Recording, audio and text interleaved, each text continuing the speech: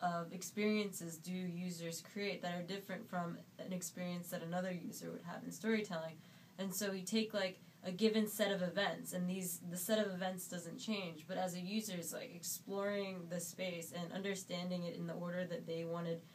um, to discover the, the, the order of discovery that they that they create for themselves how is that experience different from another user who goes on a different trajectory?